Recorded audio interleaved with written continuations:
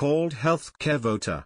The campaign will kick off Saturday, where attendees at more than 125 protests will be asked to fill out cards pledging to cast their ballots based on how their lawmakers vote on rolling back Obamacare.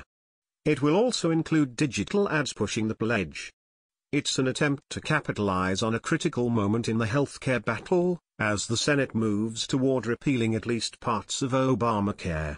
The initiative is how the groups, including Save My Care, Our Lives on the Line and Healthcare for America Now, which are hubs of labor and progressive organizations' healthcare lobbying efforts, plan to gather voters' contact information, which can be used to direct those voters toward protests, town halls and more in the coming weeks and months. Progressives hope Saturday's Our Lives on the Line protests, initially set for the first day of lawmakers' summer recess, though Senate Majority Leader Mitch McConnell delayed the start of that recess, will demonstrate the strength of their opposition at a key moment, with the Senate potentially still working on its bill.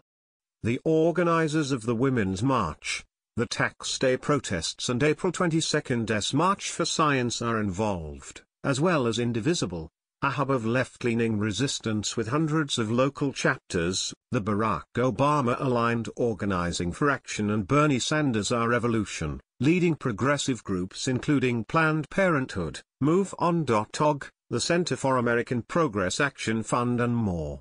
Meanwhile, Save Our Care, which is backed by many of those and other Democratic organizations, on Tuesday launched radio ads targeting four Republican senators over their votes to precede the debating the Obamacare repeal effort, Nevada's Dean Heller Arizona's Jeff Flake West Virginia's Shelley Moore Capito and Colorado's Cory Gardner.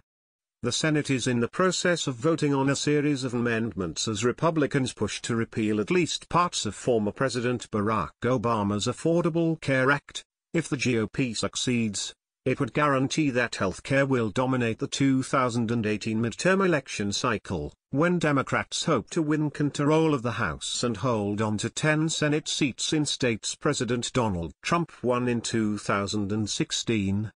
And even if the repeal effort fails, progressives hope to use the GOP's effort to underscore the stakes of the midterms after two previous cycles. 2010 and 2014, that many Democratic voters sat out.